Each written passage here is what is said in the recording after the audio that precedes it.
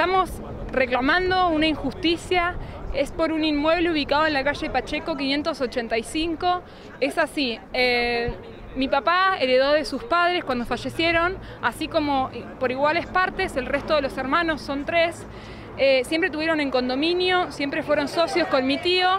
Eh, ahora él mi papá está muy mal de la cabeza, no está en sus cabales, tenemos historias clínicas, él no está bien. Un tiempo estuvo viviendo en Brasil, mi tío viajó cuando él estaba en este estado y le hizo firmar papeles diciendo que cedía su parte.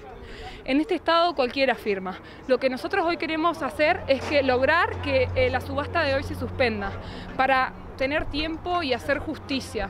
Eh, nosotros de este inmueble nunca cobramos un peso, mi papá nos abandonó cuando yo tenía siete años, mi hermano cinco. Yo soy mayor pero estoy estudiando, me correspondería ahora, porque nunca cobramos un peso. Mi hermano es menor al día de hoy. Eh, nada, después de tanto luchar con la justicia, eh, habíamos logrado empezar a cobrar a partir de ahora y nos enteramos de este, de este remate, que es un remate armado, porque si vos lees acá, eh, tengo el edicto, es Coseani contra Coseani. Los abogados no lo pueden creer, imagínate, son hermanos.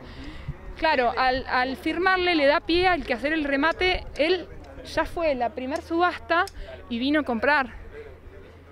Hubo gente, acá hay un gitano, por ejemplo, que vino a comprar y hasta puede salir de testigo, que hubo mucha gente que ofertó más plata y lo nombraron comprador a él. Vos imaginate si esto no está armado, están, eh, eh, los abogados y los martilleros están pagados. ¿Cuánto es la base que están poniendo ahora? La, primer base, la base del primer remate fue de 225 mil pesos y estamos hablando de un galpón que tiene más de mil metros cuadrados, una ubicación excelente que está arriba de 7 millones. No respetaron la base.